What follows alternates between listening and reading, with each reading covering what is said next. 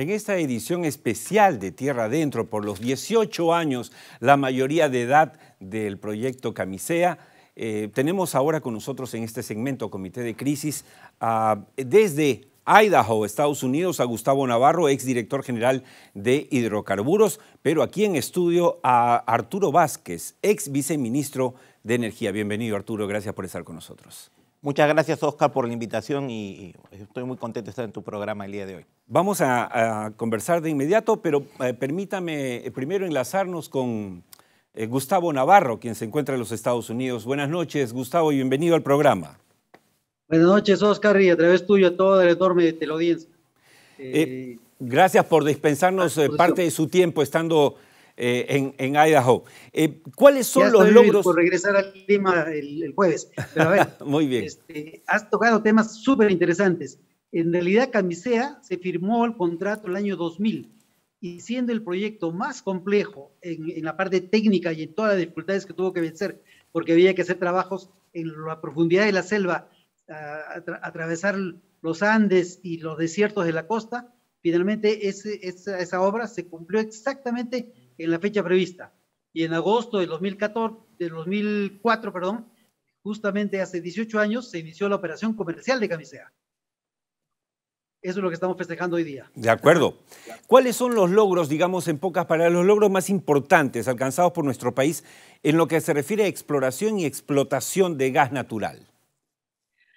Tenemos hoy día suficientes recursos para más de 20 años de consumo, incluyendo la exportación, en realidad son 24 años, pero en adición hay volúmenes que no están registrados como reserva aprobada porque no hay ductos. Es el caso del gas que está en el lote 58, ahí se ha descubierto un importante volumen de gas, pero que no está registrado como reserva aprobada porque no tiene ducto para poder este, aprovecharlo. Y además hay, otras, eh, hay otros prospectos en la selva sur que no han sido explorados porque ¿quién va a gastar dinero en buscar y encontrar gas si no hay cómo cómo este, comercializarlo, ¿no? Y este es el gran drama del Perú. Tenemos muchísimo gas ya disponible y mucho más por, por descubrir o por confirmar, pero no tenemos los, la infraestructura que nos permita ponerlo en el mercado. Ese es el reto más importante.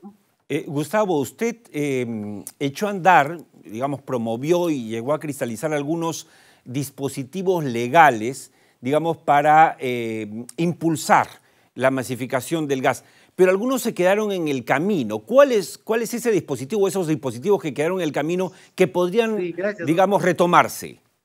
Estuve en un consejo de ministros y la propuesta fue el cambio de la matriz energética del Perú, que fue aprobada después de un amplio debate, y muchas de las cosas que se propusieron ahí se han implementado, pero otras no. Por ejemplo, una que en realidad es inconcebible que hasta ahora no se haya implementado es el cambio de la flota del Estado el Estado, como Estado peruano, tiene vehículos de todo tipo y en todo el Perú y no están con gas. ¿Por qué razón esos vehículos del Estado están utilizando productos importados, caros y contaminantes, cuando el Perú tiene una cantidad tremendamente grande de gas natural disponible, barato y limpio?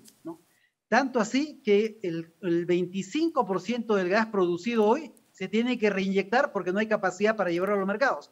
Entonces, eso muestra un poco el descuido de los gobiernos de no implementar la infraestructura que permita aprovecharlo. Y, permíteme mencionarte dos ejemplos. Eh, en 2009, en un Congreso Mundial de, Gas Natural Vehicular en, en Europa, se destacó que el marco normativo peruano era el más avanzado y el más eficiente del mundo y el que había permitido el crecimiento más rápido del mercado. Pero después se frenó eso por descuido de varias este, instituciones, ¿no? Y, otro ejemplo también emblemático es que el primer, y quiero pedir por favor a la producción que ponga la foto que les he, que les he por compartido. Favor, señor director. Eh, en el Perú se logró que, se, se, se, pueda mover con gas natural el primer tren en el mundo. Eso ya era una hazaña tecnológica importante de los ingenieros peruanos, pero la, la hazaña fue más relevante porque ese tren con gas natural cruzó Ticlio. Y la foto que, que estoy compartiendo con ustedes justamente muestra el orgullo de los técnicos cruzando Ticlo con un gas con gas natural, un gas natural peruano, ¿no? Un tren con gas. Impresionante. Bueno, eh, usted sabe, Gustavo, que parte eh, del el leitmotiv de este programa es justamente hacer críticas constructivas, pero también destacar motivos de orgullo para el Perú. Lo que usted ha dicho es algo que muy poca gente sabía y que me, alegra que haya compartido con nosotros. Hay una lámina, señor director, que habla del factor camisea que me permite hacerle la última pregunta a, Gustavo Navarro, quien está con nosotros en directo desde Idaho de los Estados Unidos. Eh, camisea se dio, este, eh, o sea, la pregunta es si Camisea cree usted, Gustavo, que ya dio todo lo que tenía que dar, porque aquí vemos en esta lámina lo que llamamos el factor Camisea. Y es clarísimo el despunte de la electrificación en el Perú. Miren ustedes, desde que inicia Camisea, cómo es hacia arriba, una flecha directa hacia arriba, el crecimiento de la electrificación y por lo tanto el desarrollo. Electrificación, amigos televidentes, es desarrollo. No hay nada que podamos hacer, no podríamos estar en este momento con ustedes si no fuese por la energía eléctrica. Entonces la pregunta final para Gustavo Navarro era si Camisea dio todo su potencial o todavía es algo que podemos seguir explotando en beneficio del país. Hay mucho más, hay mucho más, Oscar. Te voy a señalar solamente dos puntos. El primero, hemos sufrido este año y, el, problema de los transportistas que han, sufrido un tremendo impacto con los precios del diésel, ¿no? Porque todas las mercaderías, todos los alimentos, toda la logística del Perú se mueve con diésel el diésel es básicamente importado, es caro, es contaminante eh, y, lo están sufriendo. Y el Perú tiene mucho gas y resulta que la tecnología hoy día permite usar gas natural en estado líquido, que se llama LNG, en camiones y en buses de transporte interprovincial que les da más de mil kilómetros de autonomía. Es decir, un, un, bus de pasajeros puede ir con gas natural liquefactado en estado líquido y ir hasta 1.600 kilómetros sin recargar. Imagínate.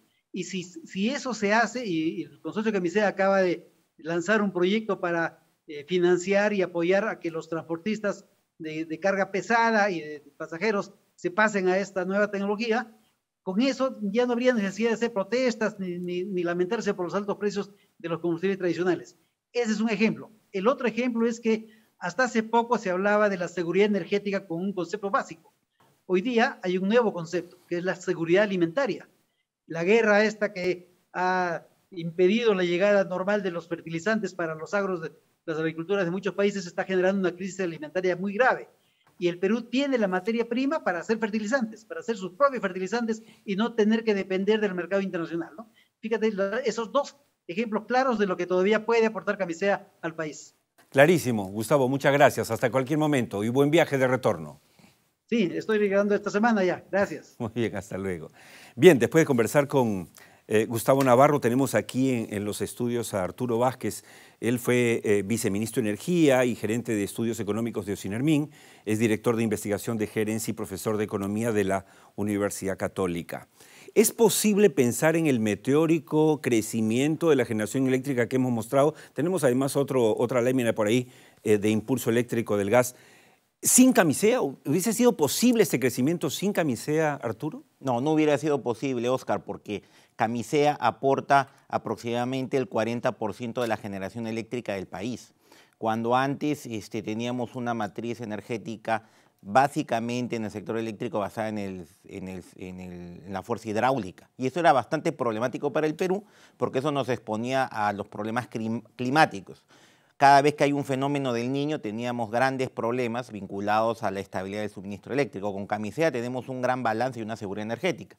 Y los este, usuarios del sector eléctrico se han beneficiado desde que inició Camisea en el año 2004 hasta el 2021 con un ahorro de 54 mil millones de dólares. Increíble, es impresionante. Tenemos esta lámina, por ejemplo, que, eh, preparó el Instituto Peruano de Economía para nosotros, donde hablamos del impulso eléctrico del gas. Y es clarísimo cómo es que el componente de camiseta televidentes, para que se den cuenta, eh, la columna de color naranja o rojo, como lo vean en sus televisores, es lo que permite este crecimiento. Ahora, sin embargo, a pesar de esto, Arturo, usted ha sido viceministro de Energía, ¿por qué nuestros gobiernos, y no hablo de este, ¿no? Al cual se le puede atacar, se le puede criticar. No, no, no, no. Hablemos de, los que han venido pasando. ¿Por qué dudan de las bondades del gas? ¿Por qué no eh, se deciden a masificar el gas? ¿Qué es lo que falta o hay intereses subalternos? ¿Qué, es lo que ocurre? Yo creo que el gran problema es la voluntad política. La inestabilidad en los gobiernos a lo largo del tiempo han generado marchas y contramarchas respecto a la política energética. Porque primero se promovió el gas líquido de petróleo, que deriva de los hidrocarburos como el petróleo y otros derivados. Que no es una solución porque seguimos dependiendo del precio del petróleo en el exterior. Así es. Que no, es, lo que nosotros estamos produciendo. Claro, y se subsidia el GLP en vez de darle con todo el impulso al gas natural. Exacto. No se ha promovido tampoco, y lo había dicho este Gustavo Navarro previamente, la construcción de gasoductos se necesita construir gasoductos. ¿Qué se hizo en Colombia? En Colombia se tomó una decisión drástica para masificar el gas, que es el Estado asume la construcción de los ductos troncales a través de iniciativas público-privadas. Y acá en el Perú lo que tendríamos que hacer... Es un tema estratégico. Es un tema estratégico, efectivamente. No es un negocio, es un tema estratégico. Eh. y por lo que ha dicho, ahora resulta algo que impensable hace unos años, que nada menos que la seguridad alimentaria también tenga que ver con el gas. O sea, por ejemplo, con la producción de uria. Pero siga, siga, por favor. No, no, o sea, la construcción de gasoductos troncales es fundamental para el Perú y para eso se tienen que comprometer cierta, cierto cofinanciamiento. Como le digo, en, Argentina y en Colombia es el Estado el que asumió el riesgo de la construcción de los gasoductos y con eso se masificó el gas.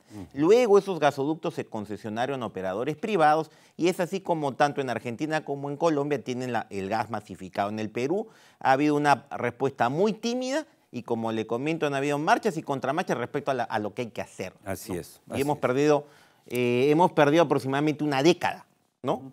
Eh, en respecto a la masificación de Ahora, eh, hay otra lámina que nos habla del crecimiento imparable, ¿no es cierto? Porque esa es otra cosa, ¿no? Se dice, no, no, pero vayamos con cuidado porque quizá, ¿no? el crecimiento económico no vaya de la mano bueno, una realidad es que el Perú no ha dejado de crecer, incluso, y eso es bueno decirlo a los amigos, a pesar de los gobiernos que hemos tenido, a pesar de contar los últimos seis presidentes investigados o procesados o en vías de extradición, la verdad es que el Perú ha avanzado y los números no mienten. Dicho esto, Arturo, em, es por todos sabidos que en la actualidad Camisea se ve obligado a reinyectar el gas. ¿No sería más inteligente que el Estado se siente no para estatizar, no para hacer el ridículo, proponiendo cosas como nacionalizar, sino para sentarse con la empresa y tratar de ambos ganar eh, y, que ellos no tengan que reinyectar el gas y que contemos con un gas económico? Por supuesto, el, Estado tendría que sentarse con el consorcio Camisea o con otros potenciales eh, desarrolladores de gas para poder explotar las grandes reservas que tenemos con el compromiso de asumir el cofinanciamiento de la construcción de gasoductos. Porque como dijo este Gustavo en la, en la intervención previa, tenemos reservas de gas en el lote 58 que no se pueden declarar comerciables porque no es gasoducto. Entonces, el Estado puede ayudar al sector privado en la construcción de los gasoductos y además dar un clima de inversión favorable promoviendo el desarrollo de proyectos de exploración de hidrocarburos con una regla de inversión bastante predecible y no amenazar con la estatización, que eso no va a llevar a nada. El Perú ya ha tenido una experiencia estatizadora en los años 70 en el gobierno militar de Velasco y la industria de hidrocarburos llegó a los años 90 quebrada. Esa es la verdad, con empresas estatales ¿no? que tenían que recurrir a la casa fiscal. Y para no ir muy atrás, eh, Arturo, lo acaba de pasar a Bolivia. Si bien se entusiasmaron inicialmente con el gas y vendiendo, y de eso vivió el gobierno de, eh, Evo Morales, después, obviamente, cayó la venta eh, del gas en el caso de ellos para exportación y resulta que este, la caja se, el, digamos, el erario, los los bolivianos tuvieron que poner plata para subvencionar a la empresa. Acá no hay que inventar la pólvora. Ahora, antes que nos gane el tiempo, frente a la crisis energética que está viviendo el mundo, eh, ¿cuáles deberían ser las medidas que, tome el, gobierno, este o el que venga, eh, para convertir esta crisis en una oportunidad para el Perú y los peruanos? Mira, ha quedado clarísimo con esta crisis que lo primero que hay que asegurar es la independencia alimentaria y necesitamos fertilizantes. El Perú, este, los gobiernos del Perú no promovieron la construcción de plantas petroquímicas para la producción de uria y otros fertilizantes. El Perú importa aproximadamente al año 1.2 millones de toneladas de fertilizantes, de los cuales 600 mil son uria. 600 mil toneladas se necesitan. Entonces, la materia prima de la uria es el gas natural, que lo tenemos aquí. Y que estamos reinyectando. Y que se reinyecta aproximadamente el 25% de toda la producción total de camisea, que son 400 mil pies cúbicos por día. La planta petroquímica necesitaría menos de un cuarto de la producción que se reinyecta, ¿se da cuenta? Entonces, se necesita invertir 800 millones de dólares en una planta petroquímica que garantizaría la seguridad alimentaria. En respecto a la seguridad energética, nosotros no tenemos que recurrir al petróleo, porque tenemos el gas a la vuelta de la esquina, está en Cusco.